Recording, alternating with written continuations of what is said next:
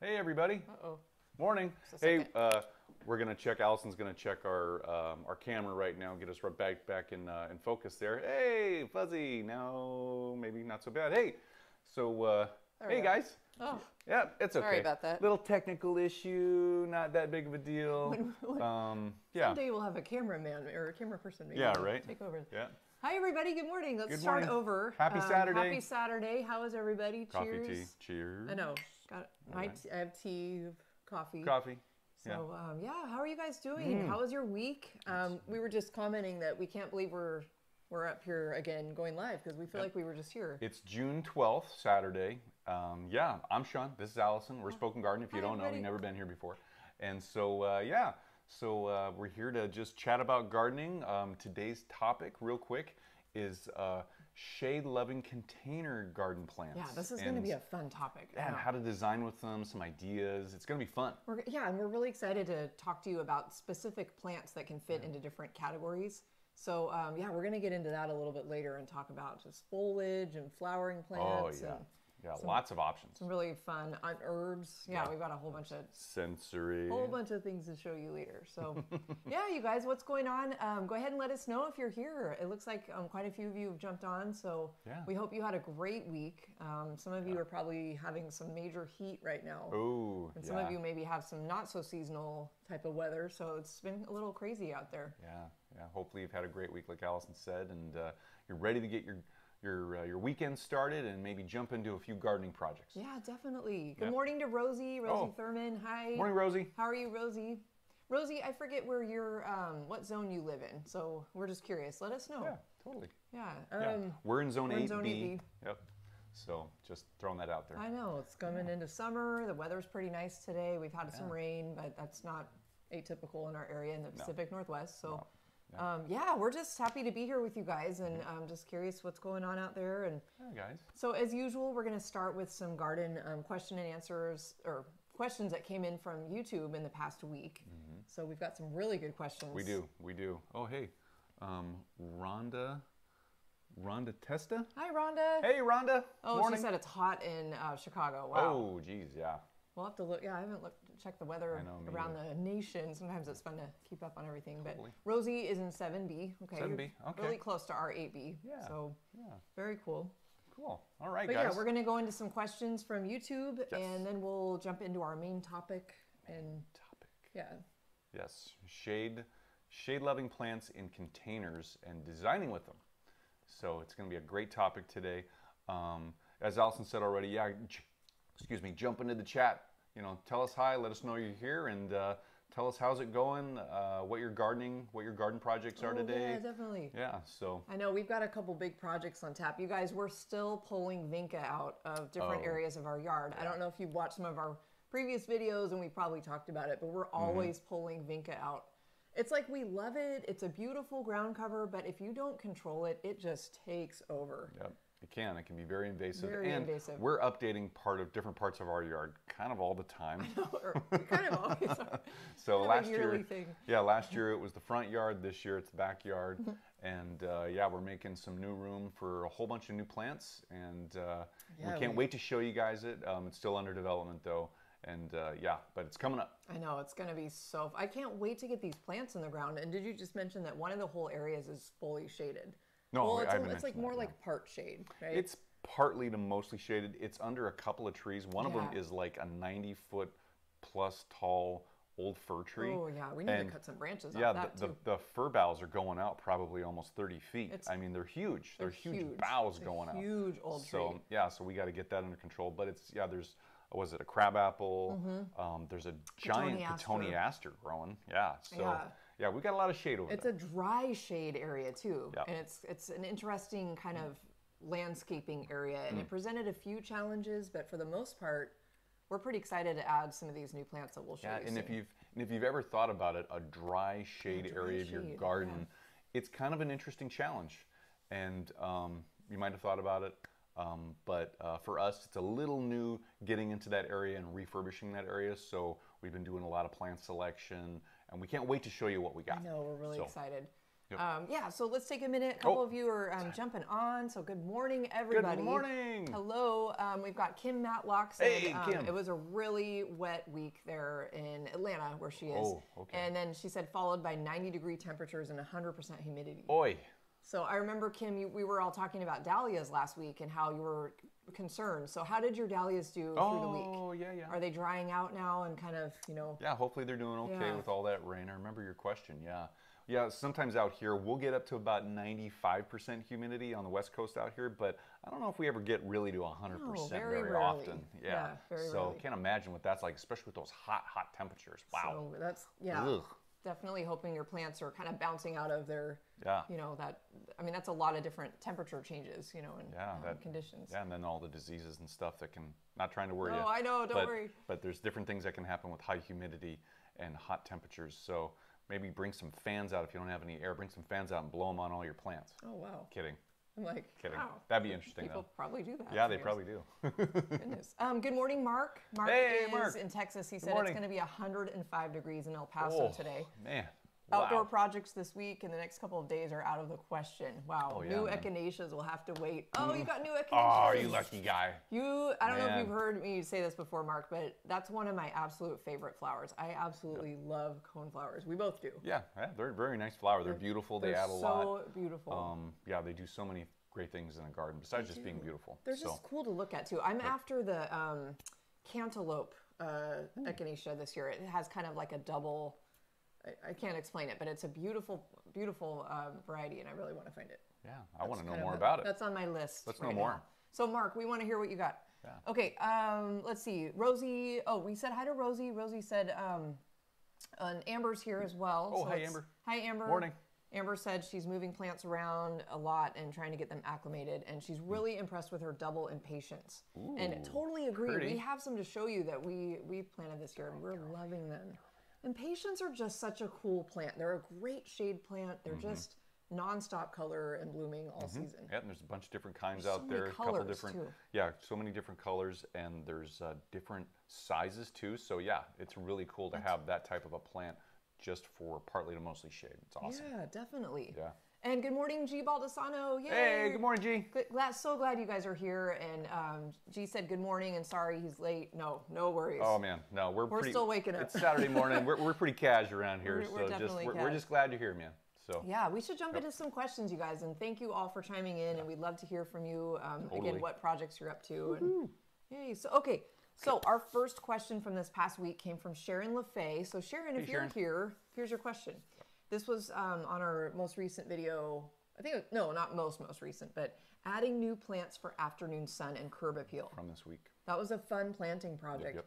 which afternoon sun, morning shade, that's another interesting challenge. hmm it is, yeah, Right. yeah. Besides the dry, the dry shade area of a garden, yeah, yeah, the afternoon sun, all day shade type of, uh, yeah, planting area. Anyway, I, I know, we could go on. Okay, so great question from Sharon. Her question is I can't seem to keep my coleus happy. Any suggestions? Coleus can be a little tricky, a little finicky, just yeah. a little bit, but mainly, um, you know, there's new varieties. We should mention this. There's newer varieties coming out that are almost full sun, which is awesome because usually Yeah. in the past, Coleus have been pretty much a full shade, to even uh, even just up to partial shade, maybe partial sun. But there's some that are coming out now, especially this year from Proven Winners. Is it Proven Winners or is it is it um, American All American Selections? yeah, All American selections, All-American and I believe, I think actually Proven proven winners. Winners. I think so, they- so both of there's those, a lot of cultivars. both of those organizations. Yeah, there's so many. Um, they're producing coleus plants that are pretty much full sun. They can take full sun, and that's awesome because Mm-hmm. that makes it even more versatile and such a great plant. We've got a couple of them right up here. Uh, we wanted to show you. Um, so to answer your question, uh, Sharon, yes, they can be finicky. It's a little hard sometimes because they are very susceptible to rot. Um, if they're too wet, if they're kept too wet, um, a lot of times, meaning they're basically overwatered.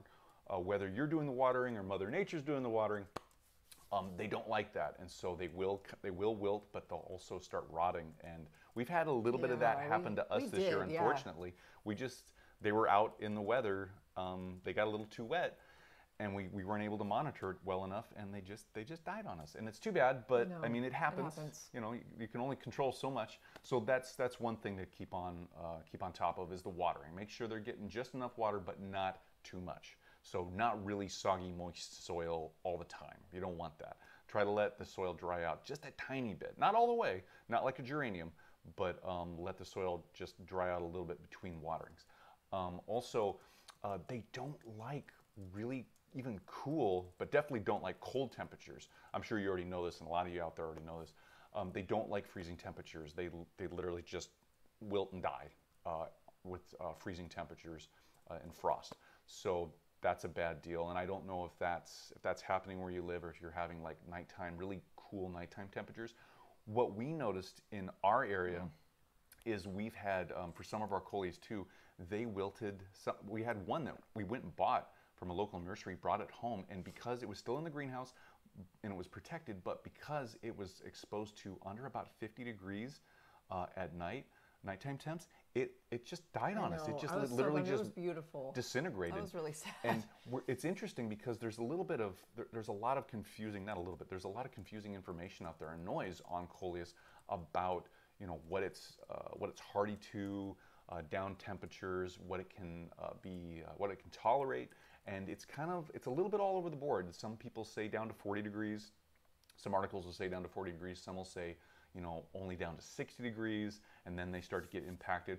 What we noticed around here, just in general, is that uh, about 50 degrees they're okay at about nighttime temps down to 50 degrees but after that down below that they just don't do well and we pretty much we, we lost actually a couple not not just a few but or one but a couple and so um, what we would what we would say for your question too is make sure that they're in temperatures probably at or above 50 degrees just to keep them healthy and not to impact them with any type of cool temperatures um, there, there's that to consider. And then also, um, if they're a partial shade to full shade type of coleus, uh, a little bit, not, not the newer ones, but just the general run of the mill older ones, uh, try and keep them protected during intense parts, uh, intense sunny parts of the day.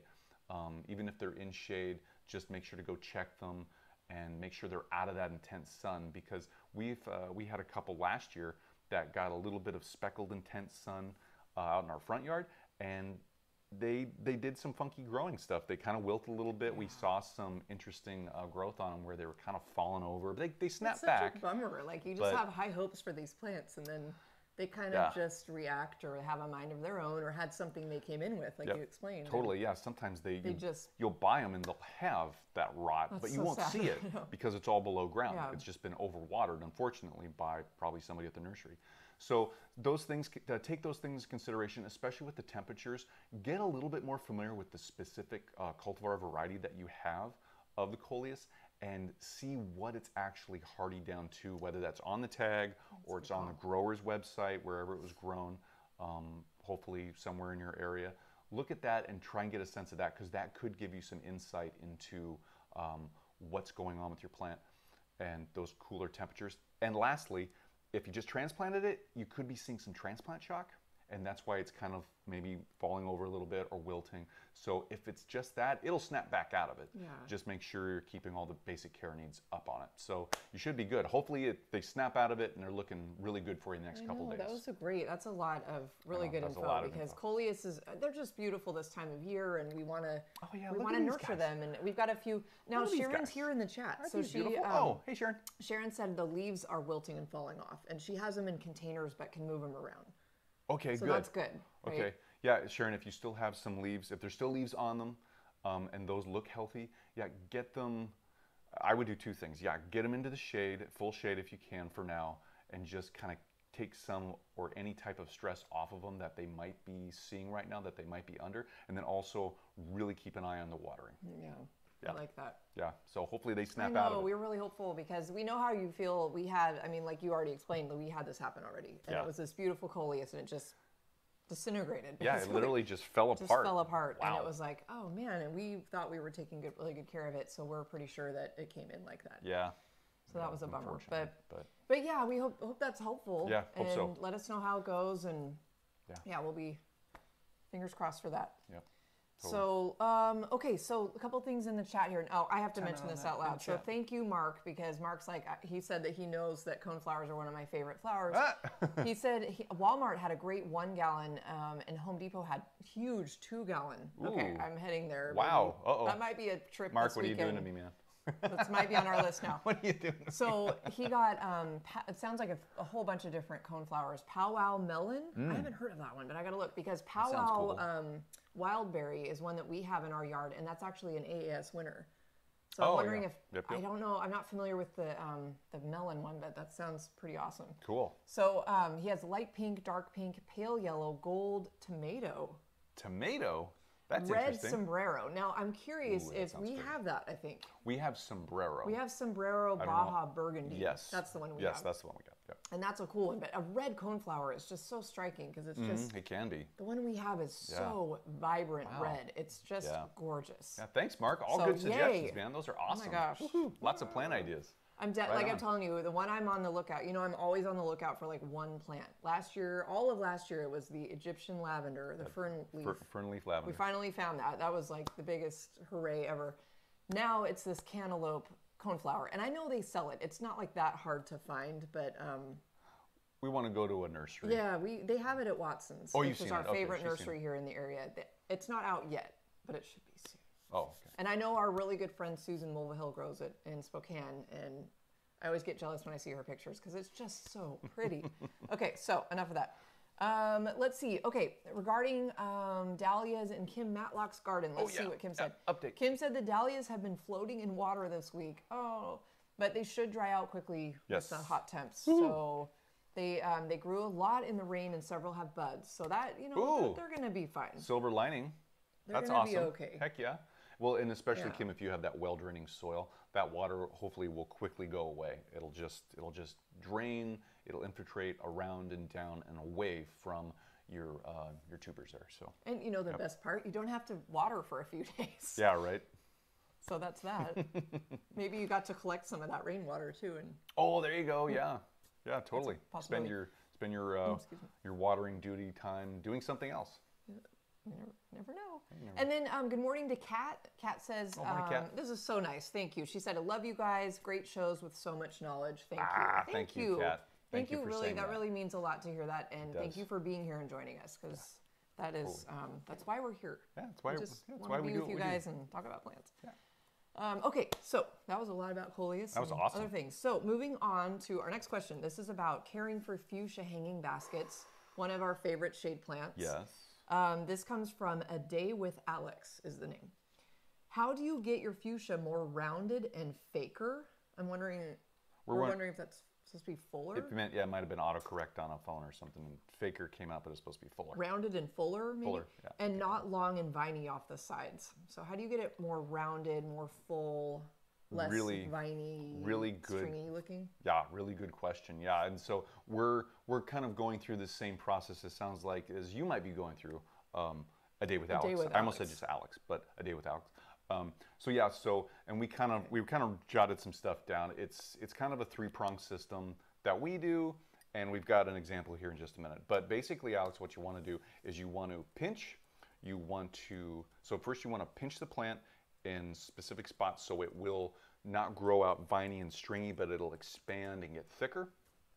Then, then after that, what you want to do is basically on a weekly basis, uh, is turn the plant 180 degrees if you can. So if it's on a hanging, if it's on a hanger, you want to take it off the hanger and turn the whole plant and pot 90 degrees and then reattach it.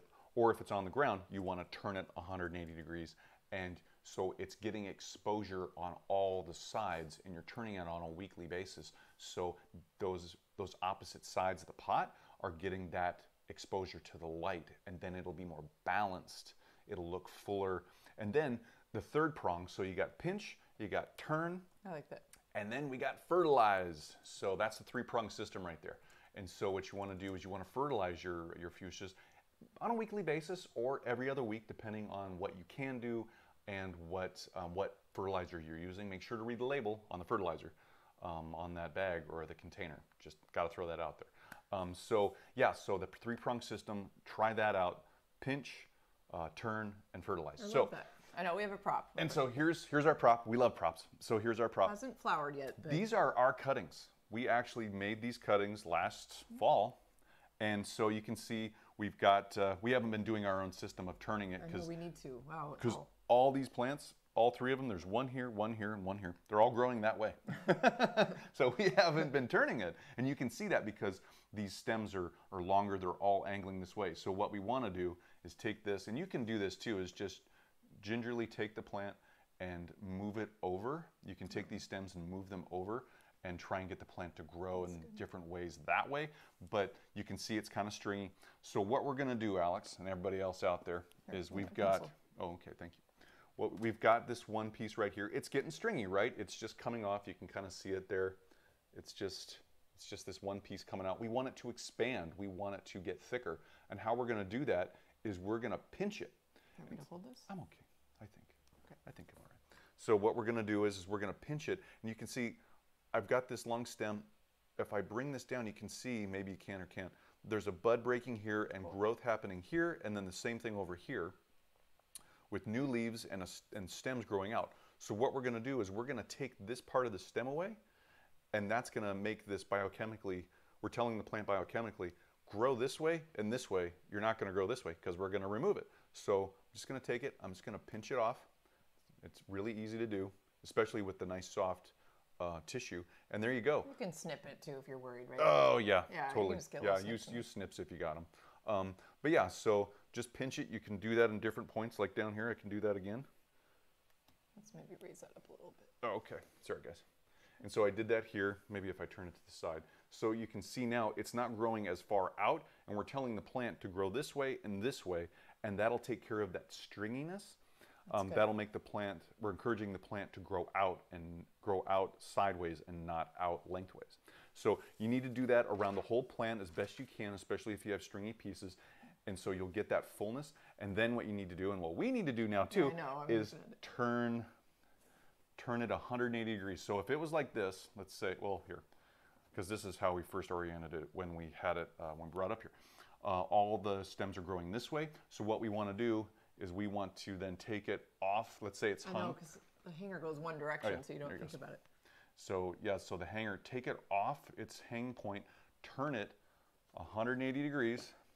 So the hanger's not, so the end of the hanger's not facing this way, facing that way, if that's a little bit easier for you to track it that way. And then rehang it. And then what'll happen is, is now the plant's gonna say, oh, well, I'm not gonna grow this way, because that's, that's the opposite of where I was growing before. I wanna grow back this way. So then it's gonna change some of this growth pattern up here. And as you hmm. do that continually, it'll train the plant to follow the light, grow in those ways, and you'll get more of a balanced uh, growth pattern on this plant. Now, how often would you change it? Maybe weekly? Yeah. Yep. Might I, be w- a I would, yeah, if, if we can. Oop, little spider. Get off there. Okay. Um, so, yeah, I would change it on a weekly basis, turn it on a weekly basis, and then, yeah, you'll be guaranteed more of a balanced growth pattern. Cool. Yeah. Okay. So, pretty cool. We So, need to do that. Hopefully that answers your question, Alex. Yeah. if not, let us lots know. Of, lots of tips. So pinching, turning, Pinch, turn, fertilize. Maybe weekly, and rotate. Yeah, weekly on the rotation cool. and maybe Okay. the fertilizing. Yep. Nice. Yep. Don't pinch it on a weekly basis. I should Oh. be, I should try and be clear. That's true. We should try and be clear.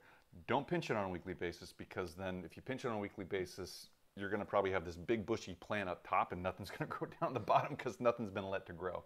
So maybe in a general sense, maybe pinch maybe every three weeks to a month if you need to. If needed, you don't yeah. need to pinch all the time. So only if it needs it. So I'm that really, helps. yeah, I'm really excited to see our cuttings are doing well. It takes a while for fuchsias to bloom and stuff, right? It's just like it takes a while for them to get going, but Mm-hmm. Yeah. they're looking pretty good. Yeah, yeah. It's exciting. Yeah, they're doing really well. So Um, okay, So- so, moving on, Moving on. to Stromy 53 or Strom 53. Sorry, we're not sure. Stromy. But we know you're here often, so if you're here, let us know. Yeah. Um, so our one of our again videos uh, this past week, adding new plants for afternoon sun and curb appeal. Uh-huh. She had an awesome question. So when we talked about this for a while this morning, because we were like, oh, that's a great, great Mm-hmm. idea. So will Calibrocoa or Calibroca, depending on how you say it, will it grow in these conditions as a substitute for supertunias? So the conditions being, we had this area again where we have all morning shade and then a little bit of dappled through the afternoon, Mm-hmm. but then full blazing sun in the afternoon. Mm-hmm. yeah, it's a very unique It's a unique, um, u- unique setup in a Yeah, garden for, for us anyway. Um, maybe some of you Some- out there yeah. have the same challenge. So great question. Can you substitute Calibrochia, Calibrocoa? Sorry. we say it both ways. Yeah, so, we're yeah. Um, can you substitute it for a petunia? petunia. And the quick answer is yes, you can, but there's a caveat. But, yeah.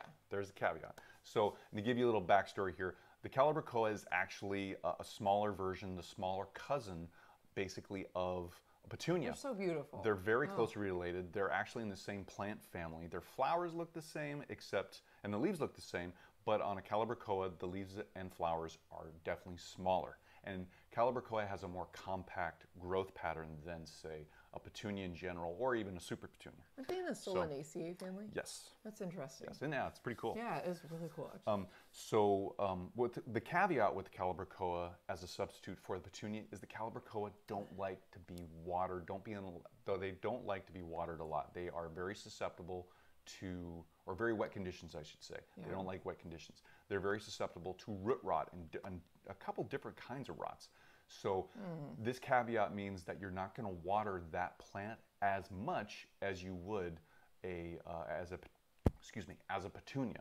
Um, what Calibrachoa like to have happen, an easy way to think about this is when you water, before you water, check to see if that top layer, maybe the top half inch, top inch of soil around the plant is dry. And if it is, then you can water the plant.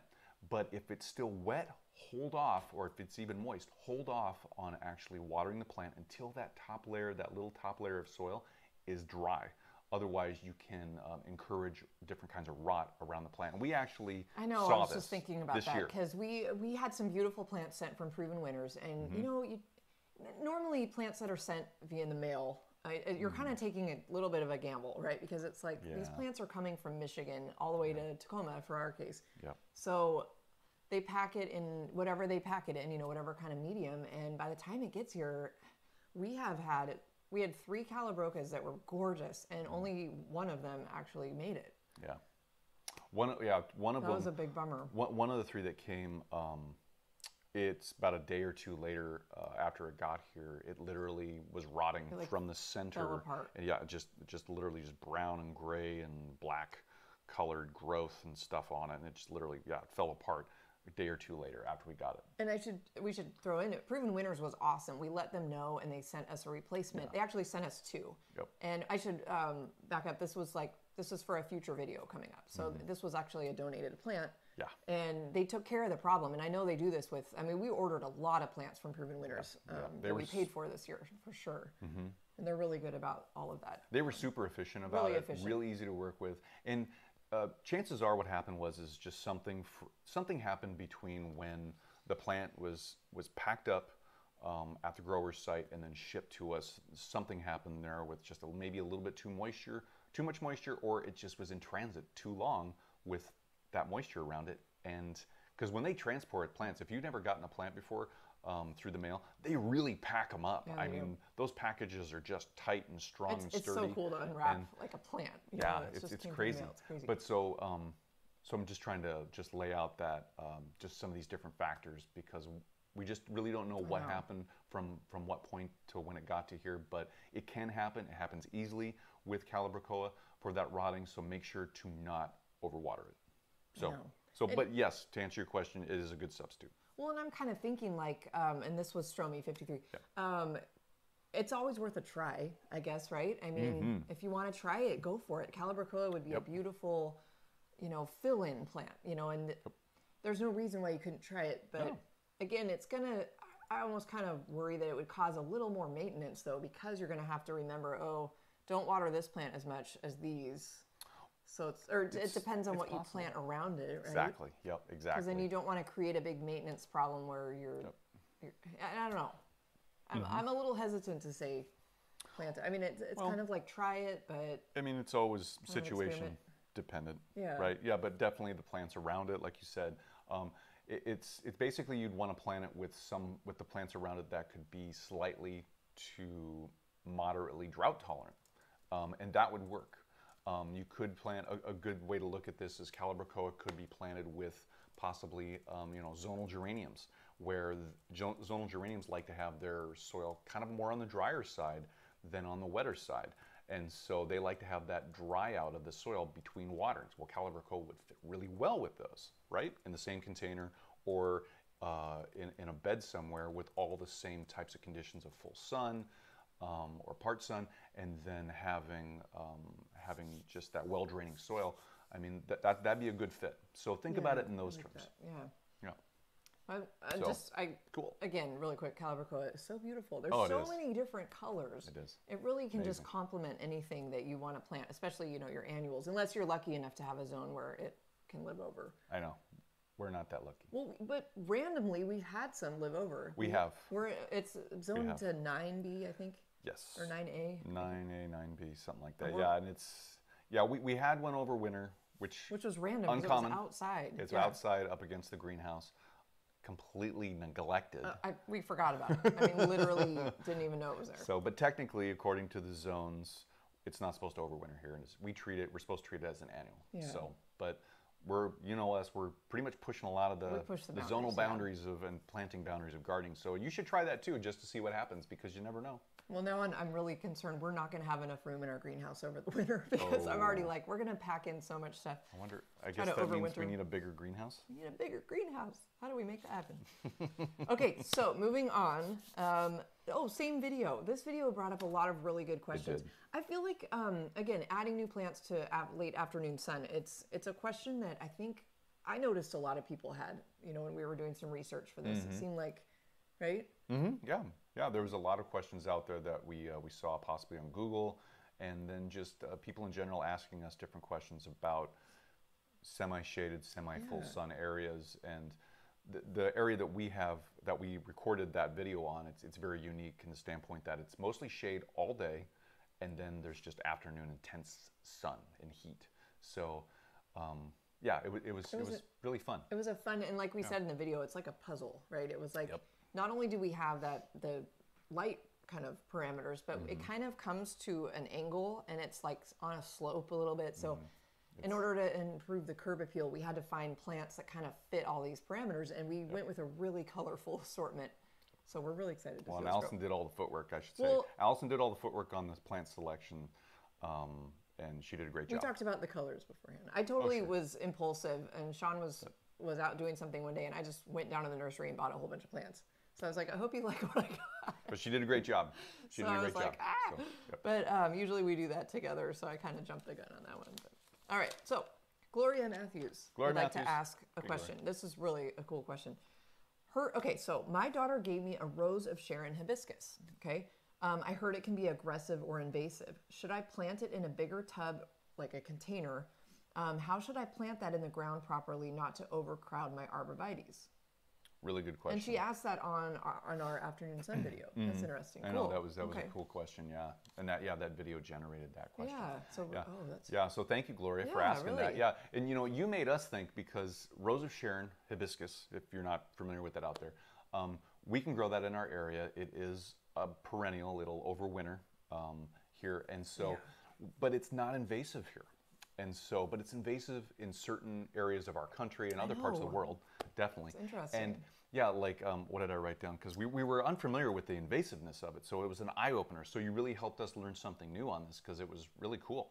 Um, And I'm wondering, you guys watching, is it? In, do you know of that being an invasive, you know, plant in your area? yeah, totally. Like, yeah. what do you know about that? Because again, that's yeah. yeah, I mean, we Not just here. never thought about it. It's like we want hibiscus to grow here. We're right on that level, that cusp of will it grow here, won't it grow here? So um, yeah, so it's like we want it uh, grow here. So um, so yeah, I think uh, what did I write down on the notes? It's invasive in places like Tennessee, mainly back east um, from us anyway. So Tennessee, Pennsylvania, maybe Kentucky, and so it depends definitely on the climate uh, where it's growing and. Um, it's actually it's invasive because it spreads by its seeds. It actually self sows. It produces you know the beautiful flowers. Then they go to seed. Um, they set seed and then they disperse the seed, and so it can spread by its own seed. It's really viable. It produces really viable seed. So in these areas, these specific areas, it doesn't do that here as far as we're aware of. So, um, but yeah. So uh, Gloria, it, what's her, I can't remember. Yeah, Gloria, and she says she wants. There was like two questions, right? I, I want to plant. Oh, how should I plant it in the ground properly to not overcrowd? So basically, uh, Gloria, the plant can get kind of big. It can get eight to twelve feet tall, Wow. and it can get probably. I think I read read up on it again, and it was like six feet to eight feet or more wide. So it can get pretty good size. So um, in Allison and I were talking about this, like you could make a hedge out of that. That would be so cool to have a hedge of hibiscus, uh, hibiscus there. So anyway, so um, if you're going to plant it in the ground, Gloria, make sure to plant it so um, you, you have it planted with its uh, mature size in mind, and that means the six to eight or more feet uh, uh, spacing from your uh, from your arborvitae. And the way to look at that too is uh, we don't think about this. People think, oh, I need to pl- I need to place them six to eight feet away from each other. And it's like, yes, you can, but the way that I look at it and the way I was trained is look at the plant, look at its center, and six to eight feet wide, meaning look at that center and go three to four feet this way, and then three to four feet this way. And that should give you the proper spacing of that plant in relation to other plants around it. Um, and so keep that in mind if you're planting it in the ground. Um, and then um, I would was, always say go with a container, like you said. You know, just Yeah. if you're worried about that invasiveness, just yeah, the container's cool. And it, and and part of her question was, is, uh, her statement was that she got it from a daughter, so that's a really cool. I know that's such a meaning, yeah, nice, meaningful gift. really great gift. So, um, Gloria, depending on where you live, um, it might could be invasive. It might not. So, what what we would say is check with your local extension agency first off. Call them up um, and say, uh, "Hey, I would like to know if Rose of Sharon hibiscus is invasive in our county or in our area," and they should be able to either give you a straight up answer, yes or no, or they can um, they can direct you to somebody locally that might really know that, like a grower or somebody at one of the local nurseries that'll know more about that. Um, if you're just going to plant it anyway, and you know whether you check with the local extension agency or a nursery person or not, um, what you want to do to head off any uh, invasiveness, go ahead, let the plant flower, enjoy those beautiful blooms. Oh my gosh, they're so gorgeous. And then once the flower um, the flower dies, withers away, deadhead the plant right away. Don't let it go to seed all the way. Don't let that seed spread. Get the flower and those seed pods off the plant and into your recycle bin so it cannot spread. Which is what we should be doing with our lupin right now. Oh, yeah. Unless, well, that's a, That's a different story. it is invasive, a little bit invasive, a little bit invasive, but I like, yeah, that's a great suggestion. So, anyway, hope that answers your question, Gloria. Well, and um, So- there's a lot of people who've jumped in the chat, so Oh, I'm sorry if cool. we're missing saying hi to you guys out loud, but thank you all for joining us. Yeah, Good thanks, morning. guys. Thank Thank- you. Or s- some of you are afternoon, I believe, in um, maybe in India, I believe. Oh, cool. Well, so yeah, thanks for spending I know, your thank you. morning, afternoon, evening, uh, your evenings with us. We really appreciate we it. really appreciate it. Super cool. So good morning to Connie and um, Connie Graham. Um, Andrea's here. Andrea, Andrea. said Hey, this Andrea. is this cracked me up. She said, "Dang it, you guys are gonna make me go buy a red coleus now because I see the one that you have right there." We'll talk about that one in a minute. That's an Plant awesome. one. enablers And I wrote that back. Ah! and then um, Neri Ailman, good morning. Morning, Mary. Um, Neri um, Neri. asked, Oh, "How can I kill an invasive plant? I have one behind my yard." Good question. Depends on the plant. Yep, it depends on the plant and what you want to do and how you want to go about doing it. Um, there's a couple different options. If you want to get rid of it right away, physical removal is always good, but try to get the roots out Oh, and yeah. don't let it go to seed. Um, if you see it flowering, even if it's starting to flower and you don't want that plant in your garden anymore, cut those developing flowers off even before they go to flower, before they open up fully. Um, and then what you're doing is you're taking away that reproductive part and the spreading portion of that plant away from any of its seed, if it's uh, spreading that way.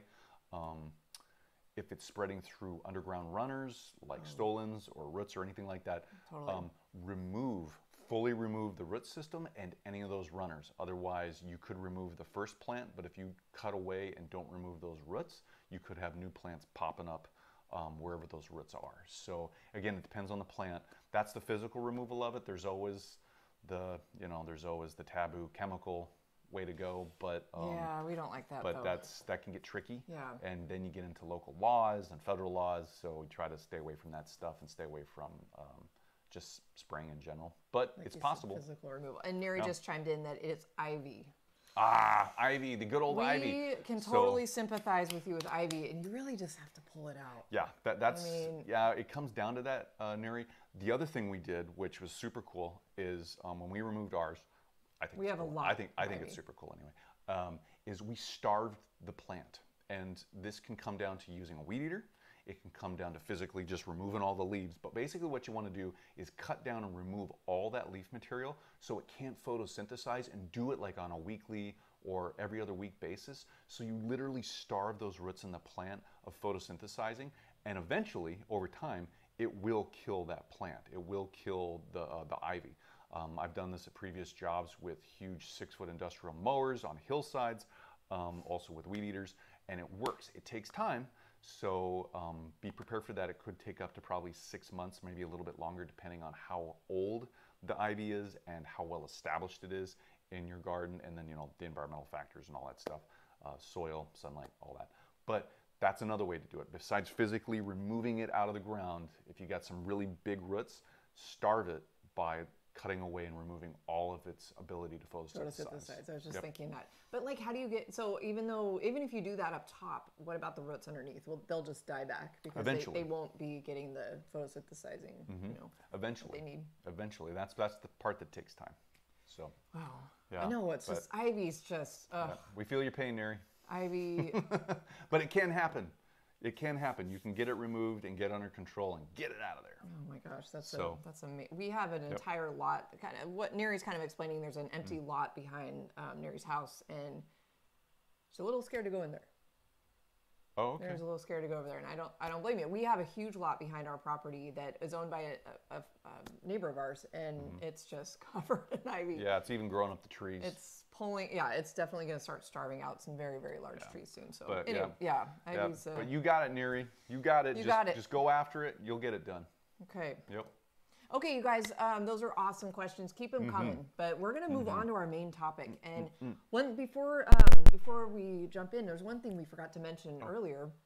Um, well, a little something, but we every week. Those of you that are with us every week, you know, we always kind of focus on one fun topic, and we we ask for input from you guys. You know, just and take questions and whatnot.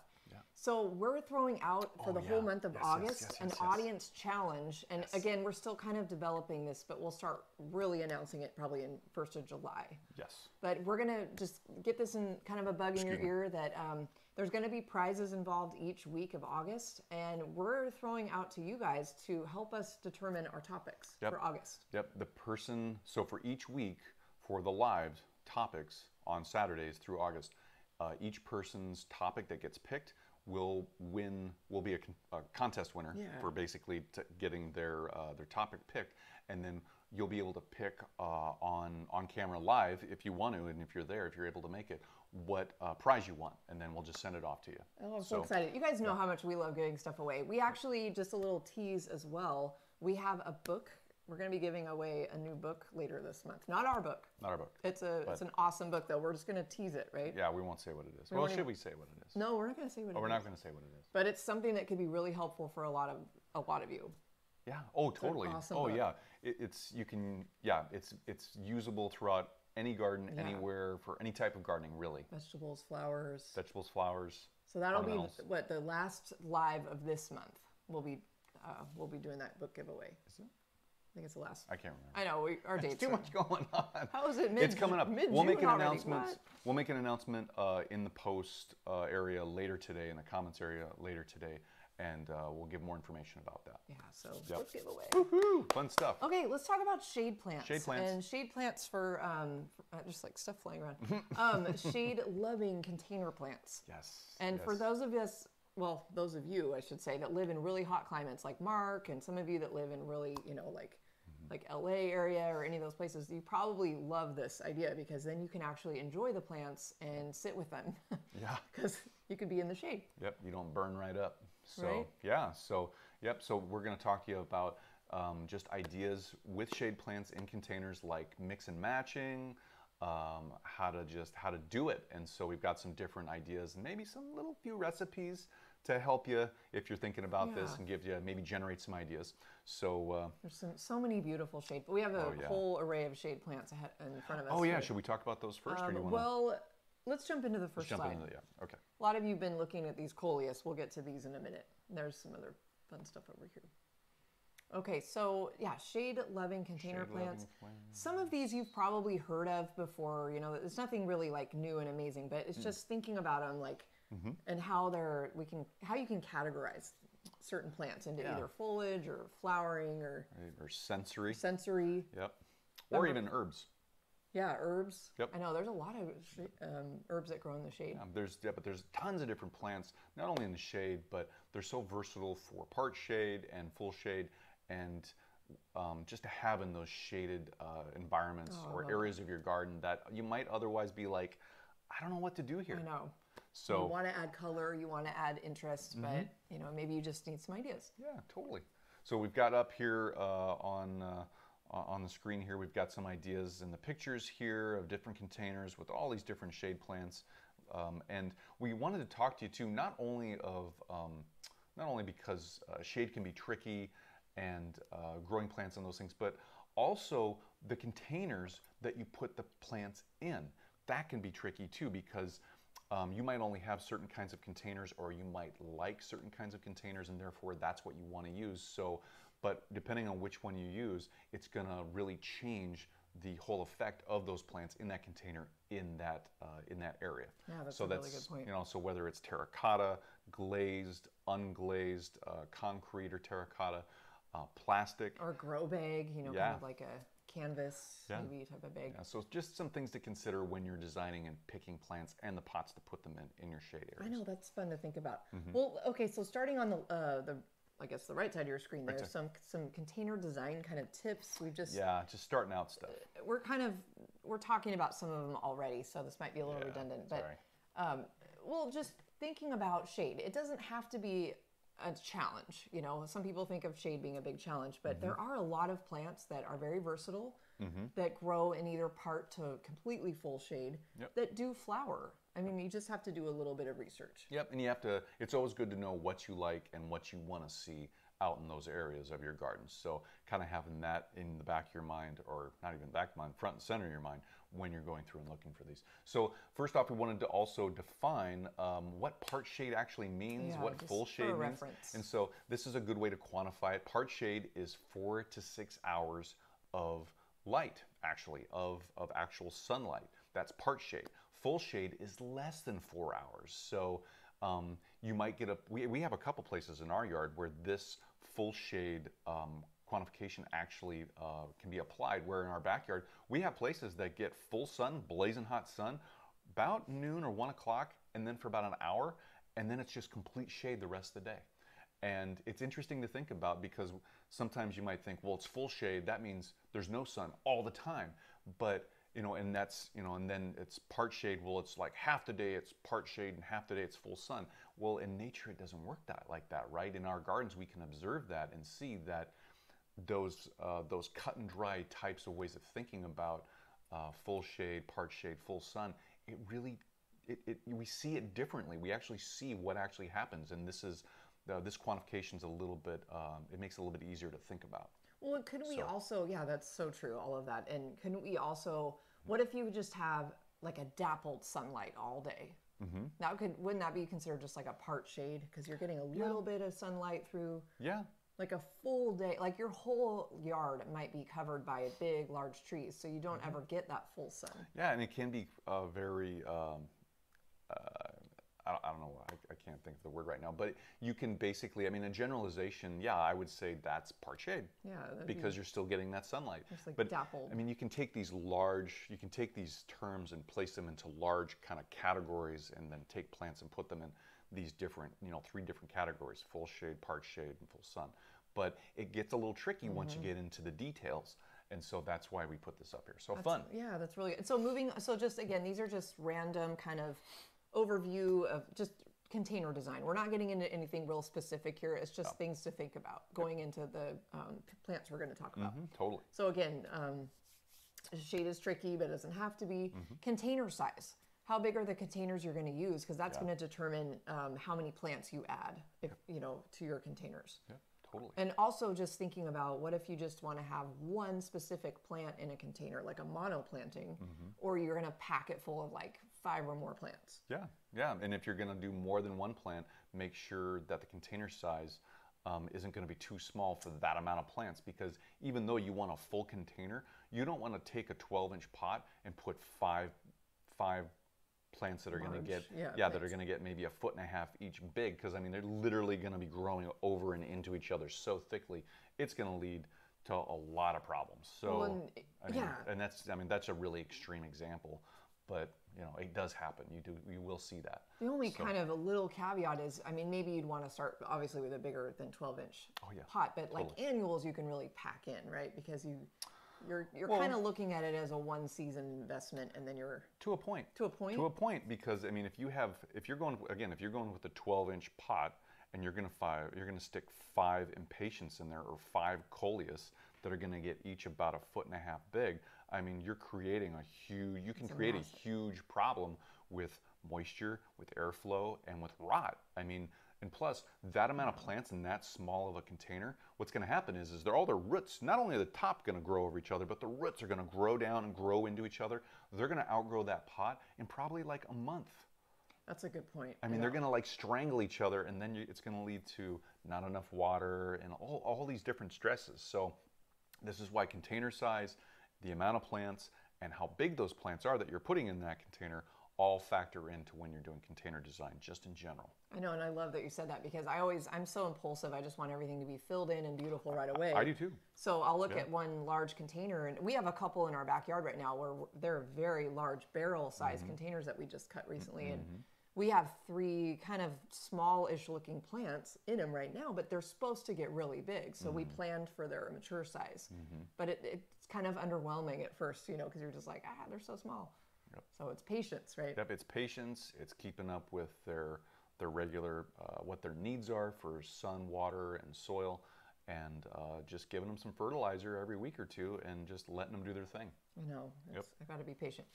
So moving on, uh, so grouping of plants, like again, how many plants, um, what actually will go together, um, and that kind of blends into the next bullet point that says thinking about plant care needs. Oh yeah, oh you yeah. want to speak to that? Well, just you know, when you're grouping the plants together, you want to make sure that um, they're, they're, all their care needs are the same. If they're not, then you're creating more problems. Uh, if you don't take that into consideration, that comes down to making sure the plants have they, they have the need for the um, the sunlight levels. And in this case, we're talking about shade or part shade plants. You want to make sure all those plants have that need, that part shade or full shade need. Otherwise, if you're putting plants together that um, have a full sun need in a shaded area, you're gonna you're gonna create a situation where the plants are gonna stretch and they might not even flower um, because they're not getting enough uh, they're not getting enough, uh, light energy and enough heat exposure to actually trigger that plant to flower. And so there's other things that make plants that can make plants trigger to flower, but in general case, that's that's something you have to consider. Um, and then also, you know, water needs. If you're planting together a plant that um, that loves a lot of water versus a plant that doesn't, um, like say you're going to put like a, a, a petunia. Let's say you put a petunia in with a geranium. You can make that work. That's okay, but you're running the risk of overwatering the geranium too much or underwatering the petunia too much because if you underwater the petunia it's going to look it's not going to it's going to look a little crispy it's not going to look as healthy but if you overwater if you give the petunia enough water that means you possibly could overwater the geranium and that'll lead to another couple different kinds of rot because it doesn't like wet feet it doesn't like to be in moist soil all the time. So these are just some examples of making sure that the plant's needs work together and it's another type of puzzle Yeah. to put together in your garden And we're going over all of this again ahead of all the plants. We're going to show you because we're we're not showing Yeah. you all their care needs and whatnot. We're just giving you kind of like a list of plants. Yeah. So it's kind of like keep these in mind, right? And Oh, yeah. then do kind of your own research and and thinking about what you want to put together. Mhm, Totally. Yeah, and I think I think we've already covered pretty much in the beginning. Oh, we did the, materials. the Yep. containers. Yeah, the material of the containers, and then also um, definitely the colors you want. Think about the colors you want, the the patterns you want to see. If you just want a constant green, uh, kind of like. Uh, what you see here, just a solid green and then flowers uh, for these uh, impatiens right here. Mm, love those Or if you want something more like uh, a pattern of color to see in different hues and colors, like this uh, this coleus and all these coleus up here um, just think about those things because um, once you put that plant together, those plants together, or just that mono planting together, um, it's it's going to be beautiful no matter what. But make sure it's what you want, and just think about these things. Yeah. So yeah, really good point. I think That's uh, where it gets fun too, right? You get to think about all the colors and definitely. Okay, so we're gonna uh, jump into some plant lists here. And some of these you've of course heard of before, but um, So these are shade-loving container plants that are just known for their foliage. So they have beautiful colors and shapes and textures and sizes, but they don't. Well, some of these do flower, so there's a little bit of overlap. But Well, and like the coleus, the coleus will flower. that's weird It's just think. not known for its flower, Yeah. right? So that's just something to think about when you're thinking about foliage plants. Is they do flower. Some of them are inconspicuous or just not known for their flower, but they will eventually flower. like hostas, hostas flower. Some of you know that you grow yeah. hostas, and they have just lush, beautiful, tropical-looking leaves, but. Mm-hmm. They're not really known for their flowers, although their flowers are a pollinator attractor, so there are other benefits. But hostas are usually grown for their foliage. Yep, and, and it will stump. That's funny. Uh, yeah, a hosta flowering a lot of times will stump a lot of gardeners that aren't familiar with the flower of the I know, hosta. right? Yeah, so it, it's fun to see that sometimes. It's like, you know, it's just interesting that people say, What's that plant? Boy, that's a beautiful flower. It's like, Oh, that's a hosta. That's a hosta flower. But it's like, no, it's not. It's like, yeah, just look at the look at the leaves. You know, It has the leaves, but there's a flower, and it it's cool. It's almost like to me sometimes that flower almost looks like a gladiola flower, um, because it, it's a spiky and- spike. yeah. yeah, has those bell-shaped flowers, and so it's an interesting mix. So yeah, it can throw some people. That's so cool. So yeah. Anyway. Okay, so yeah, let's talk about some foliage plants. Yeah, so definitely the coleus. Um, you can do a monoplant. Excuse me. You can do a monoplanting of the coleus Oh, there's so plants, many um, or you can mix them. And a way to think about the mixing is, um, you know, look at the size of the coleus, uh, its textures of its leaves, the colors of its leaves, and match that with um, probably maybe a solid colored uh, plant. Uh, plant leaves and then flower, and we actually have that right here. I'll just pick this up right here because this is a good example of this. No, I love this plant. But um, this is one of our planters outside, and a little small on the screen there. oh, okay. Well, if you can see that here, we'll here- show it again maybe in a minute. here's the planter. But here's our coleus plant right here. You can see that, and then we've got an impatient with it. You know, This it's is a, so it's a beautiful It's a double impatiens. yeah, Mm, Amber was talking about that earlier. This is Yeah. this is our um, per, uh, Al- Rockapulco purple Rockapulco. from Proven Winners. Say that ten, ten times. Rockapulco purple. Rockapulco. I can't do it. Okay, um, I need more practice. And then we've got a potato vine. Isn't that cool? I love and, those and colors. you just see this. I mean, you've got these different textures of leaves, the different colors, the hues, and then yeah, just uh, it's, it's just beautiful how they work together. Well, not to mention just you know looking at color, and a lot of you are probably already know how to do this, but you know just this is just so this just sets off so many other of the co- or so many of the other I can't talk so many of the other colors in this container because of its light brightness. You know, it's just this uh, potato vine, this light light green color, just really makes the rest of the plants pop. It does. Yep. And this is That's one of fun. our yeah, this is one of our part shade, full shade uh, planters out in our backyard, and it does really well. Yeah, it's it's looking awesome. We made two of these actually. We have them on either side of our deck, kind of in the shade under an eave. Mm-hmm. So um, we're pretty happy with the way those are filling out so far. So, so that's just a an fun one. example. Yeah, and you can also get if you're not familiar, there's creeping jenny, which actually is kind of invasive. Uh, you got to keep Yeah, your it uh, is actually. Keep your eye on that. That definitely spreads. Yeah, but there's also different kinds of ferns that love partial or full shade. And uh, the one up here on the screen is the hart's tongue. We actually planted that in a shade Yeah, container I know we didn't bring a for. picture of that, um, it was in a different video. that was our tropical, Yes. shade loving Yes. tropical. Yes. Yep. Yes. So, and there's also there's grasses, um, different types of grasses that like Mm-hmm. uh, partial or even full shade. Uh, definitely heucheras. Oh my gosh. Oh, heucheras are cool. That's kind of a new one in our garden. I know a lot of you maybe have grown that before, but this is we are, we're really enjoying it so far. And you can see there's an example up here. Um, I think that's from Proven Winners in the lower left-hand side of the screen. That's a that's a monoplanting of a heuchera. And that's one that we're going to be growing actually in our shade garden that we're setting up. We have, I think, four of those we're adding. Oh, cool.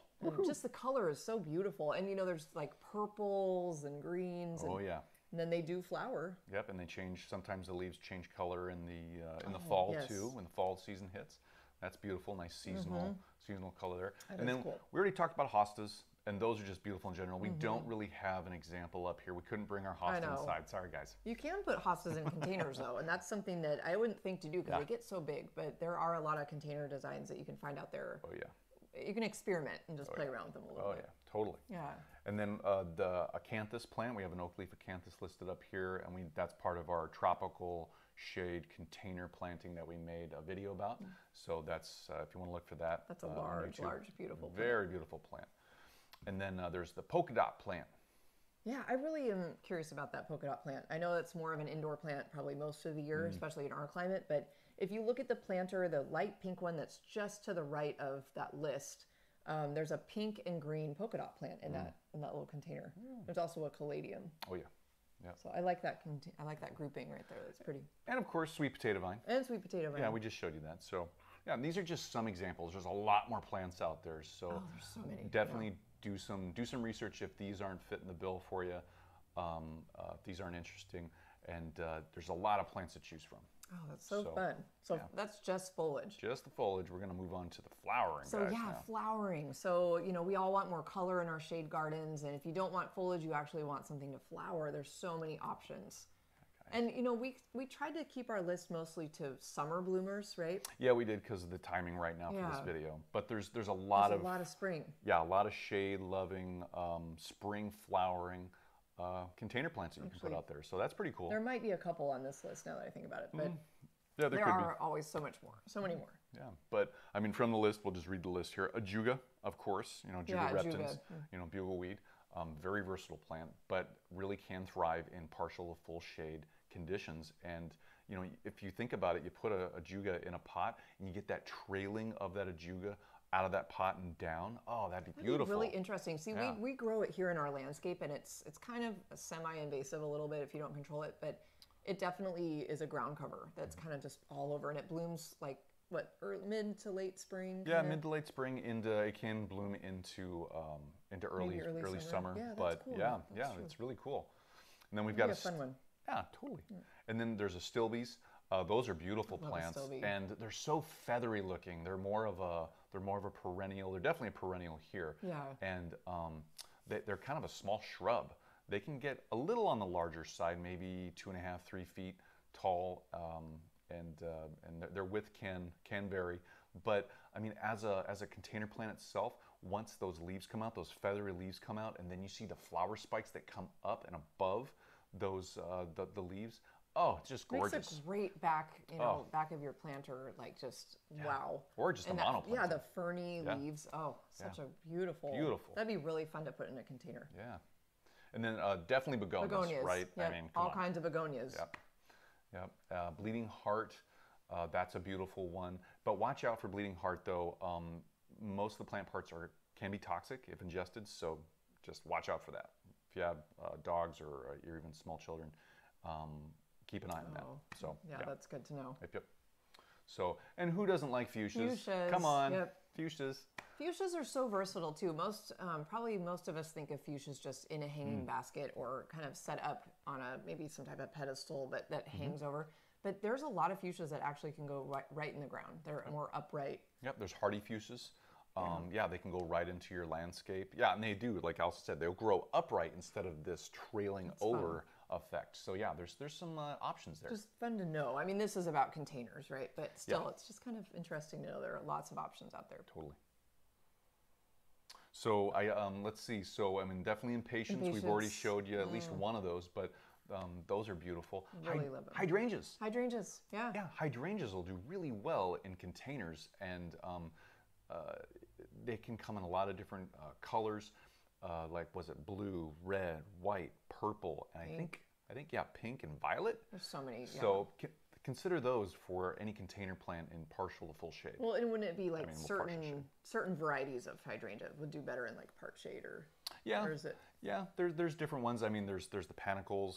Um, there's panicle hydrangeas. Yeah. We're talking about the flowers. There's the macrophylla, the large leafed hydrangeas, and then there's the microphylla, which are the small leaf uh, hydrangeas. But there's also there's more species of hydrangeas out there, and so cool. um, most of them are partial shade. Some of them will do full sun. Some will do full shade. Um, so pick your plants wisely. Yeah. But you know, um, there's a lot of uh, variety out there. Nice. Yeah. Now, lig, ligularia. Ligularia, is a fun one Ah. that I've seen them in white and yellow, and they just they're honestly really- I kind of see it more in the landscape.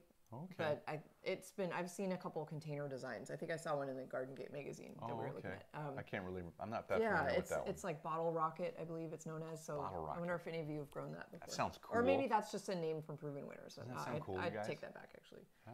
okay. But that's a fun. I mean, that's one to look into. right on. So Um, lily turf. You might not be familiar with this, Yeah, I'm but the species name is Ly- Lyri- Oh, yeah. I've heard of that. Yeah. Okay, I didn't know So- lily turf was the same. Yeah, Okay. lily turf, but the species. Some some people will call it um, as a common name liriope or liriope or a liriope. Isn't it amazing how many names one plant can have? Like everybody's talking about the same plant, but it's just said in five different ways. Well, and or- even even the botanical names, the Latin can be said differently, and people you, you say it differently to somebody else, and they go, "What plant is that? I don't even know what you're talking about." And we're supposed to be able to talk about this with the Latin names, so everybody knows about it. It's the same plant, right? Right. But even that can be confusing. So, but Hmm. that's a beautiful one. That's more of a bulb. Um, that's a beautiful one. Uh, there's also phlox, partial shade. Yeah, that's- beautiful plants. Um, and then definitely primrose. Um, primrose, you know, th- those are great for uh, a lot of. They grew. They basically evolved as understory plants in forests. A lot of them did. And this is the primulas, the vulgaris, and um, we have them all throughout our yard. They thrive here. They love it. And sometimes we get them to flower at all different kinds of the year, not just in the spring or even into the uh, you know mid late winter, but they'll flower. I mean, we have some flowering right now still, and some are getting ready to flower. They're setting their flower buds. So beautiful plant though for container plants uh, in the shade. So definitely some flowering plants to think about there. So um, I'm going to move on here to sensory. Sorry, I'm just jumping in the chat really quick. I know I'm start, kind of missing some things here in the chat, Oh. you guys. So I know Rhonda, you had a question a while ago about swamp milkweed, and we're going to get back to that. Swamp milkweed. Swamp milkweed and its, its invasiveness. Oh, okay. So we'll talk about that in just a little bit after our presentation. There's a question, um, Jennifer Tennyson. Good morning. Thank you Morning, for Jennifer. joining us. Um, Jennifer said she found us while looking for, about um, into videos. She found us last night. It sounds like Oh, cool. after looking into videos for deadheading her fuchsia. Oh, so sweet. we hope that was helpful. Yeah, and totally. she has a couple shade uh, related questions. So we'll um, we'll get back to her in just a sec as well. Right on. So hope, thank you guys for uh, chiming in. We're not forgetting you. We're just uh, got a lot going on here. So Mm, totally. want to make sure we get to you guys. But um, yeah, let's just keep going here and then Rock we'll do the roll. questions. Okay, so shade loving container plants, sensory plants. Now this is a cool one. Now when you think of of container plants in the shade, probably don't think about sensory plants. And we covered sensory plants as a topic last, week, yep.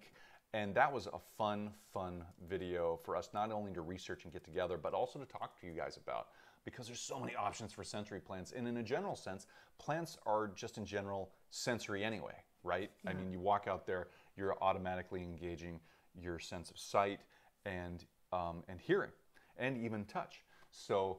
Um, but there's there's specific ways to make that really intentional out in your garden for to get those the five senses to activate those five senses. And so here we wanted to talk to you about shade loving sensory types of plants in containers. Well, it's cool to think about um, for some of you with smaller space gardens, you know, and maybe Mm-hmm. just having one container in the shade with all the different senses like represented. Mm-hmm. Yep. Wouldn't that be cool? yep all five senses Or maybe you just have one sense that you're really focused on. Like you just you're you're really tuned into the um, the smell. You know, you want things that are really aromatic. Mm-hmm. So you're you have a shade container that's full of like herbs or other aromatic shade plants. yeah and maybe That's so fun. yeah it's really cool and maybe you want to have something of a sensory garden and a container plant out in the shade just for that sense of smell but also for touch and maybe that's part of how you relax you know maybe you use that in your relaxation um, uh, what- whatever your ritual might be, whatever whatever type of system you might have to do that, you can go out and just touch the plants and then smell your fingers, or go up and smell the plant right away. It's fun. That's cool. I know there's so I many options. I know. We see, we kind of get we get- excited we about it. Sorry, out, you know. tangent. You know we Um, do. So let's see. Sensories for smell and taste. Here are some examples for smell and taste of plants that like the shade that can be grown in containers: rosemary, mint, oregano. Isn't that cool? So basically, your herbs, right? Yeah, right. I mean, so you're getting a sensory, you're getting a sensory out of that for smell and taste, but also you can use them for cooking. I know, if you want so to. cool. Yeah, and other things too. There's just not only cooking. Well, and keep in mind, I mean, this is kind of again, we're talking about shade, but um, plants like rosemary that will flower would do better in like a full sun environment. Yeah. So Mm-hmm. If you're waiting for it to flower, it might not flower at all or as much. As much, yeah. just So- kind of And that's okay. just something to be aware Yeah, of. Just yeah, make sure you're aware of that. Totally. Good point, honey. Yeah. Uh, sound, balloon flower.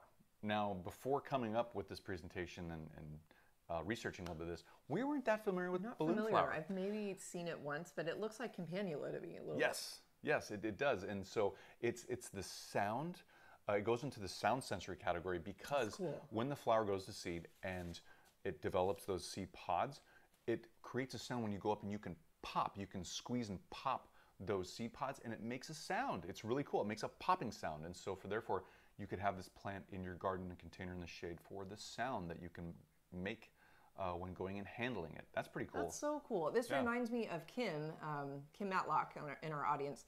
And wasn't it uh, last week when we talked about sensory plants? I think it was Kim that was mentioning. Hmm. There's, I think it was, it wasn't poppies. It was a different plant that um, that her and her granddaughter go and pop, and her granddaughter Oh, likes to yeah, pop yeah, I. And remember that, I'm yeah. forgetting what it That's was, so but cool. I, I don't think it was a shade plant. So, oh, Kim, if you're hearing this and you remember or if this makes sense, let us know what that plant was again that you um, you suggested. I'm, for- I forget. I know I forget too. It was some, yeah. But, but it's but yeah, hopefully Kim can, can help us out there. Um, so again, so for sight, uh, the sensory of sight, uh, definitely caladiums and hostas, right? I mean, we've got uh, the caladium up there on the screen, Mm, that caladiums. lower right-hand uh, picture. I mean, can you imagine the sight of seeing that uh, out in your garden in a shade uh, environment, a container? Um, it- that'd be just beautiful to walk out and greet every day, or greet that. you every day. I love actually that fern, and Mm. I don't. We don't know exactly which fern that is, but um, any fern that has you know characteristic fern look and shape and color with that caladium, I think that's sight right there. Yeah, that, that could be a western. Wouldn't that be beautiful? That could be a western sword fern. Um, that could be. There's a couple different kinds That's of so ferns. That pretty. be, yeah, Oh, and they, there's a lot that. of ferns that thrive in the shade or part shade too. Mm. Kim chimed in. She Oh, said it, it's it was impatiens that Ah, they pop, and it is impatiens. obviously a shade plant. So Totally. that's cool. That fits our list. Yay! Yay, So we cool. add impatiens to our sound. Totally. Yeah. Thanks, Kim. Yay! Thanks for letting us know that, reminding us. That's Um, fun. I want to try And, that. and then touch, definitely for that sensory of touch in the shade, fern or grasses, right? I mean, just you can go up and just feel those leaves, and it just has this very distinct, unique feel to it, and that's so awesome. That's so awesome. So you could think of yeah, again like combining all of these into one container in the shade, and then Yep. yeah, it's just your little sensory container, Mm-hmm. and it's just it has and you could ex- it's it's a discussion piece when you if you have company over, you're gonna be like oh, and here you go through all the senses. Yeah. So that's kind of a fun, It's really cool. Yeah. follow up to last week, right? Totally. Totally. And- Speaking, oh, sorry. go ahead. I just thought of something. Speaking of last week, we, um, the very end of our presentation last week, we gave you that little challenge where you go out into the garden and you do five things that you can Oh, yeah. Mm-hmm. see, or four things, three things, two things. We were wondering if any of you um, tried that. Oh yeah, good question. So Yeah, just for fun. totally. Yeah. And I, I just wanted to mention real quick the balloon flower. It's actually up here on the screen. It's that lower left hand um, picture right there. That's a balloon flower. That's what it looks like cool. in the plant. So Again, it reminds me of a campanula, know, or me the too. Mm-hmm. larger campanula that we have. yeah, me too. So, yeah, moving cool. on. We've got what's next oh up. herbs. Herbs. So this is kind of a Herb is the word. carryover from the sensory Mm-hmm. kind of um, Definitely. sensory uh, category. Sorry. Definitely. So we've got a lot of options for herbs, and these are all herbs that can grow very successfully in the shade. Mm-hmm. Pretty much all of these we're growing in the shade, except we're not growing pineapple sage this year. Yep, not this year. But you know, a lot of these you can grow together in the Yeah, same pot definitely. because they have a lot of the same needs. Now, uh, like rosemary, like the sage, um, they do like a little bit drier conditions. So there's a little bit more drought kind of thinking in that they like those drier conditions not to be wet all the time because they, that can lead to different situations for them, bad situations. And but a lot of these other plants, but you, you could put the rosemary and sage possibly in the same container. Um, that would be a good fit, or other That's plants cool. that like that too. But yeah, a lot of these plants, the other plants in here, you could put together because they have a lot of the same water needs, and then definitely part shade, um, uh, shade needs there too. So I mean, a lot of options, and to put all these together in one pot, that just really simplifies Oh, things. That does. could, Talk about just a whole So, sensory container yeah. full of herbs. yeah, totally cool. So really, really cool. So I think that's pretty much it I think for that's it. The shade-loving parts of things. So let's Um, um, let's yeah. jump back to this question because it's relevant to our presentation. And then again, Rhonda, we'll get to your question in just a sec. Um, Jenny Jennifer, sorry, Tennyson asked, um, any suggestions for an area on the north side of my house that is shaded all day? So we're talking about landscape plants, right? For Mm-hmm. the north side of her house, she's looking for shade plants. it's Um, all day shade. All-day shade. I say let's go back to one of our. Um, yeah, we can. Trying to think. Um, it also depends, Jennifer, too, on your zoning.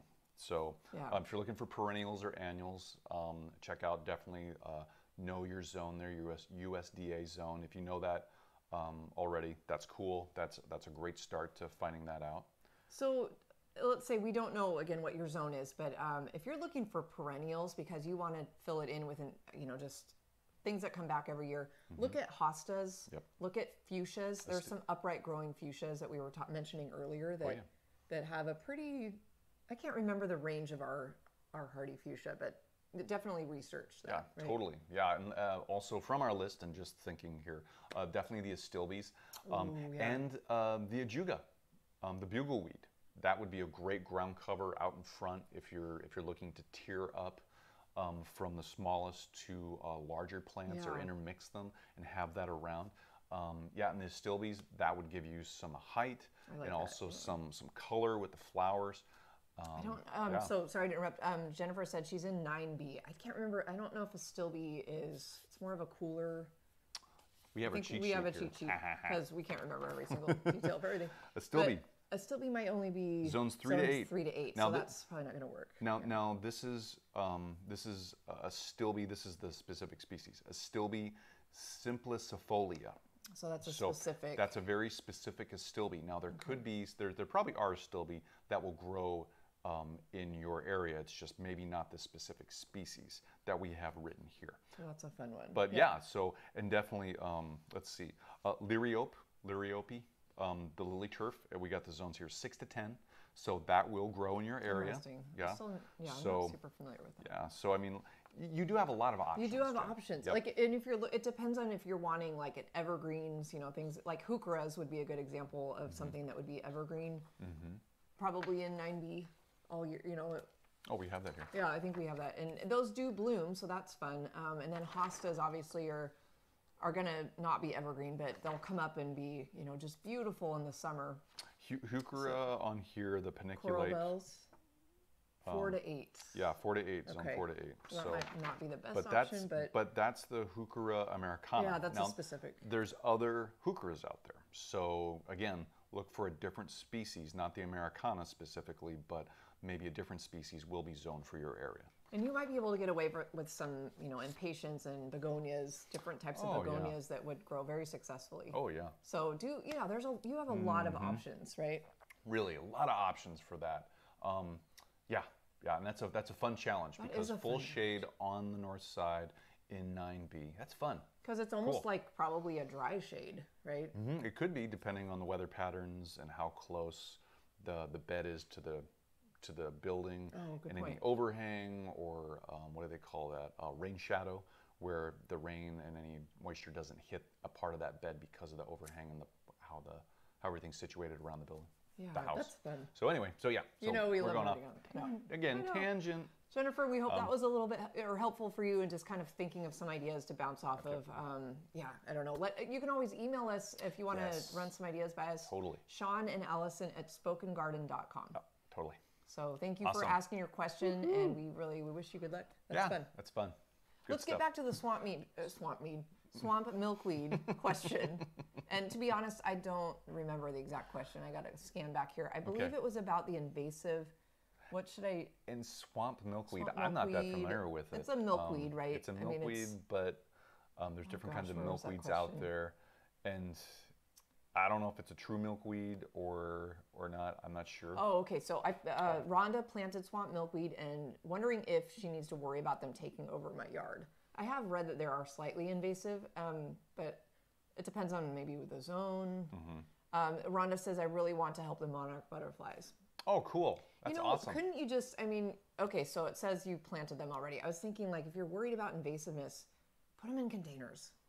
Possible. But yeah. you've already planted them, so But it depends on what part is invasive to how Oh, what, that's a what's good call. what's the mode of invasiveness basically? Is it underground runners of roots? Um, does it uh, does it can it create its own like ivy? If you cut it off and leave the cut part on the ground, will it grow a new plant? Is it the seeds? Um, you know, how is it invasive? And so keep that in mind. And uh, if you don't know, do some research on it and find that out. So then, if you do run into a case where it is becoming invasive, you can then control it a lot easier. yeah, so- I think that's a really good start because without knowing maybe a little more info about Yeah, that, I'm not familiar with that plant at all. But Um, I mean, yeah, just just look at the plant's biology overall and find out what its life cycle's like, and then also talk to if you really want to find out really quick talk to email or call your local extension agency they are super great resources in your county for uh, questions like this specifically so um, yeah check them out I know that's a good good point. So other than that, right? I think that's it for shade plants. I mean, we could go so. on and on. Um, there's so many amazing resources out there. We used a lot of proven winners kind of recipes and different things. Um, if you want to see any of the plants that we've shown or any of the containers we've shown on here, um, just go to provenwinners.com and there's really no way to search for the recipes specifically so mm-hmm. look for the plants so if mm-hmm. you're looking for begonias you know check all the begonias out and they have they offer some recipes and different things for those plants but you have to go all the way to the bottom of the of the plant mm-hmm. oh, so, no so definitely there are options or just google it there's resources out there hgtv has a lot of um, different resources Yep. Make sure to vet the resources. Make totally. sure you're aware of who's giving you the information and if you trust them or not. So yeah Yeah. absolutely yeah. So, but cool. All good stuff, you guys. So, I guess um, with that, hopefully that was entertaining. Hopefully you got some good ideas. It generated some some thoughts for you guys if this is something you're thinking about designing uh, containers and shade areas and the plants you can use to do that. We hope that was helpful. definitely So, yeah, you guys. So now moving on. Moving on. I know a couple people have popped in the me. chat and let Oh. us know that they had to run and thank you. And so, um, to all of you that are maybe have to go because we are, you know, a little bit over our hour mark here, Yeah. as always. But um, we hope you have a great week. But we're not done yet. We Not have a couple yet. more things to go over. So hopefully you're able to stick around a little bit longer. But wait, there's more. There's there's Ah, always more. okay. I know.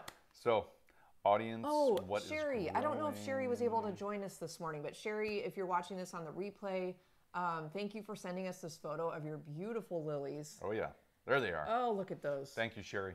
And Sherry was really excited because this was her first year, I believe, growing lilies. Yep, and she's doing a great job, obviously, obviously, 'em, I right? I, mean, that looks beautiful. Oh, it's so exciting. And, she's got, you can see some Dusty Miller know, in I've there that on the right of it, and also it looks like there might be, there might be, um, uh, what do you call? No, that's not. I was going to say that's uh, uh, flowering um, allium, but no, I don't think that's it on the left side there. sure. It's Yeah, something I else. see but something there. There's a lot right. of beautiful plants in there, and so Sherry, you're doing a great job. You're job. doing a great job. And Sherry, I'm noticing right away the um, the gazing ball you have in the background because Sean and I are looking for one because I broke ours by accident. You know, when you're walking around the yard, if you have, you know, I just happened to move our hose and I was trying to unkink it, so I like flicked it up in the air, and lo and behold, it knocked over this little garden art thing we have. I was so devastated. That was my grandpa's, and it was just this cute little frog holding this green gazing ball. It happens. Oh, but things happen. It's a weird. I'm finding online that it's a weird size to refill. Like it's it's hard to find. So I I noticed that right away, and I love that color. Yeah, that's really cool. Your, your whole setup, Sherry, is is beautiful. Yeah, I really like So, that. Yeah, really So great thank job. you for sending that. Yeah, For- thank you. And for the rest of you, um, we love seeing your photos. Please send us any photos of plants or your garden or different containers you've created. Definitely. We want to show you. We want to show and uh, we want to showcase your garden to everybody else out there. And so if you want to do that too, uh, send us your photos of your garden. Um, you know, flowers, landscapes, you know, different different projects you're doing. We love seeing all of it. So yeah, send them to us at Sean and Allison at spokengarden.com. We can't wait to see them. I can't wait. Yeah, so just definitely attach those. You can also um, tag us on social media. Oh yeah, yeah. Totally. and let us know. Uh, maybe we'll we might DM you and just double check if it's okay to share those. But um, yeah. Totally. We're excited. send us your photos. Yeah. Okay, what do we have growing in our yard What's this week? There's a lot, and like you guys, there's Yeah. probably there's way more than we six things growing. But we were trying to focus on some of our part shade to shade, or Mm-hmm. there might be a couple sun, sun uh, full sun growers here. That's okay. So Yeah. we have okay. So this week um, we we filmed a video again about afternoon sun plants, and the first two plants you see on the top of that um, row are two of them that we planted. Sorry, can't talk. So we have a rustic orange coleus. Yep. Upper left hand corner. I was really really drawn to that plant because it just has so many colors in it. Yeah, there's just so much going on, and it's got that coppery look to it, but then it's also got that almost almost burnt look too of those those smaller leaves as you come in close, and then there's that there's that burgundy almost color at the very center of all those leaves, those two leaves coming out to the side, just gorgeous. Which was kind of the, the selling point for me because if you look to the right of that, you'll see the African daisies there. Those are, um, did we bring that tag up here? Oh, Those are called 4D Harvest Moon osteospermums. Um, they have multiple colors, as you can see, and we actually put those together in the landscape with that coleus. So all those colors just kind of blend and kind of pull out the other colors. So Yep, looking great, you I like guys. that. And know, then also, yeah, to the um, to the very right on the top row, we've got another coleus, but just a little bit different. And um, I don't remember the specific name here. We're going to get the tag out of here because there's so many plants and so little so time to to uh, to memorize these. This is called French quarter, and beautiful shade-loving plant.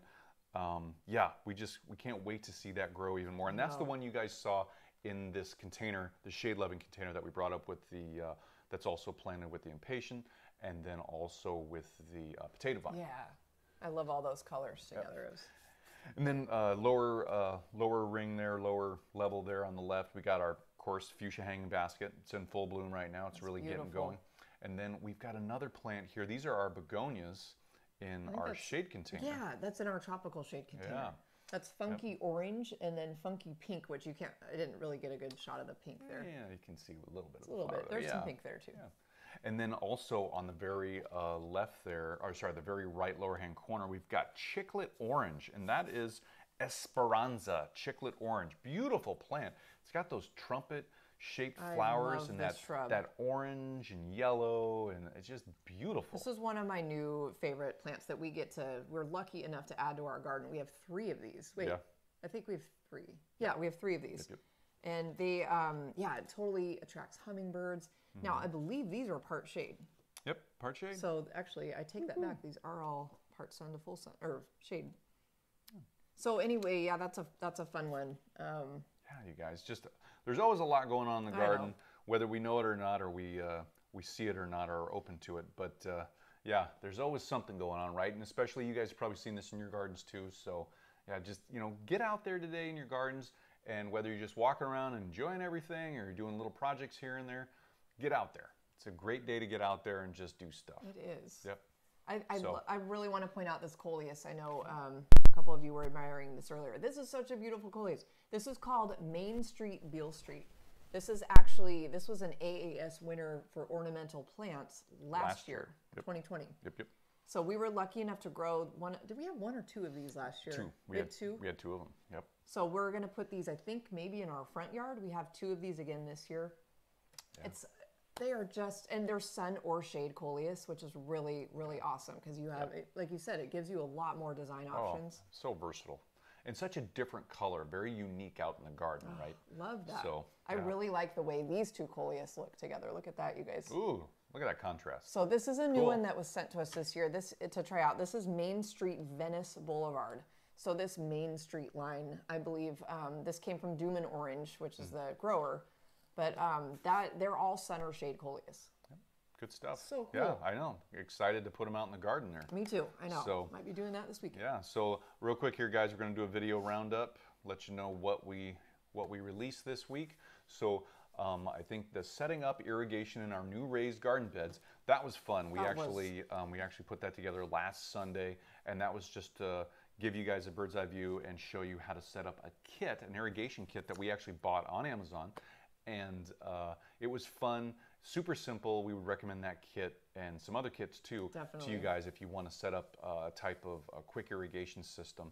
And so that was a fun video. Then we had our Monday short care tips for fuchsia hanging baskets. We had three quick care tips in under 60 seconds to let you guys know and anybody else out there about how to care for your fuchsia hanging baskets this summer. Fuchsias are on the mind right now. Oh yeah, they Yeah. are. Yeah, and then um, on uh, on Wednesday, yeah, on Wednesday, adding new plants for afternoon sun. That was where we had all these questions today generated from that questions. video. That was yeah, awesome. that was a great video. And then on Friday we had our our plant chat Friday, and that was the perennial lupin care. That was a fun one to learn more about. Yeah. You know, we've had it in our yard for a couple years now, and it was I didn't really know as much about it as I did. Yeah, it's always fun to do those because yeah, you can always learn just even I just learn a little something new every time we do one of those plant chats, and it, it helps me, it helps you guys, mm-hmm. Um, and it's it's fun to do. It is fun. Yep, we get to highlight a plant every week. I know. I love learning So, more about those. Yeah, you guys. So, yep, that's that's what we did this week. So, know. That's, we should probably kind of bring this to a close. here. Yeah. It's been a little about an hour and a half. So Yeah. we're really, really thankful for you guys being with us and joining us today Thank and you. for all of your awesome questions Yep, and comments. and comments. Yeah, just love having you guys here. We really do. And let's see, next week's topic. Next week's topic. I'm actually forgetting what because we've moved some things around. So next week we uh, what are we talking about next week? I can I can try and Oh my goodness, here. I've completely forgot. There's so much stuff. Hold on there. But again, coming up in August, though, start Yes. thinking of some topics that you might want to maybe have us cover for all of us to, to talk about. Mm-hmm. Um, some discussion topics that we can make some slides about. So I know a couple of you maybe got excited about propagation. I think Mm-hmm. I saw that pop up last week as a possible topic. So now, again, this is going to be a contest in August. So we're going to be choosing four winners, one winner each week. Um, and that'll determine what our topic is that week. So if we choose your topic, you would be the winner. So Yep. So That'll you can fun. yeah you can leave those down below in the comments. You can also email us at Sean and Allison at spokengarden.com and let us know what topic you'd like us to um, to uh, to cover uh, through the month of uh, of August. And you don't have to do just one topic. You can give us a range of topics if you want. You can do five different topics. You can do ten. You can do twenty. I mean, whatever you need help with, we want to know so we can then make that video and um, and, and give you that information. And again, we'll formally start this in July, but we're just kind of teasing you right now and just getting a little bug in your head just so you can uh, start thinking about it. Yep, Start thinking about topics, something that comes up in your yard, something about summer garden care or a certain plant or, you know, whatever. So Mm-hmm. Yep, definitely. So the, the live information is almost coming for next I know, week. I am like, so okay, next week it is going to be, if I could, because nope, we have hit the wrong changed some topics around. So we love letting you know in advance just so you can plan. And maybe if you have any questions in advance of that live, then you can, you know, let us know by emailing us. Water wise tips Oh, for summer. There we go. That's next week's. We've got some tools Topic. and tips and hacks and all kinds of stuff. So yeah, watering, water wise tips. So yeah, we're all out watering our gardens this summer, right? Yeah, we got to get out there and water. Mm-hmm. Um, you know, and uh, just some uh, quick tips for you guys. And uh, well, also not only tips, but supplies and tools and things that you can use. We're, So, I just remembered we're gonna do a giveaway next week too. oh yeah, We thought we just had the so we have a giveaway next week, the following week, and then coming up in August again. yep, yep. We have a so, great giveaway next week too. yeah, we do. Oh, it's gonna be a fun. We, we should just tell them what it is. No, we shouldn't. Yes, we should. It's gonna be a tease. We How should about tell. let them know it's a watering tool? I, I vote. We tell them right now. oh, they'll probably So, want to know. Vote. All right. I vote. Okay. Go ahead. Well, It's an extendable watering um, watering wand from uh, Dramm Corp. So this is a telescoping watering wand. really long one. And so it's uh, it's their rain wand, but it telescopes out to I think like think it's 35 or 36 32. inches, Oh, something like that. Yeah, something Wow. like that, 30 something inches. And it's got their um, it's got the nozzle on the end where you can pick what type of flow of water it's you want. awesome tool. Um, and so it's got a nice handle. It's got um, that thumb activation um, on off. So yeah, we're gonna be giving that away. so, we're gonna we'll come up with our contest kind of um, parameters for next week, but Yep. you kind of you do need to be here on the live to win. Yep. So that'll be fun. Yay! I just remembered that. Jeez. Yep. I'm glad you did. I know. Yeah. Gosh, we've So- a lot of lot of fun things coming up for you guys, so we kind of forget which week's what. But okay, so with that, um, we'll see you next week. Water-wise tips. Um, if you want to be, or if you're here, you and you want to enter the contest, that'll be next week. Yep. Please this- come. for this get, get- awesome get your Dramm chance to win your wand. And um, other So- than that, you guys have a great, great week, and Yep. we'll see you next Yeah. Saturday. Thanks for being here, guys. Thank you, everybody. Have a great Bye, weekend. you guys. Bye.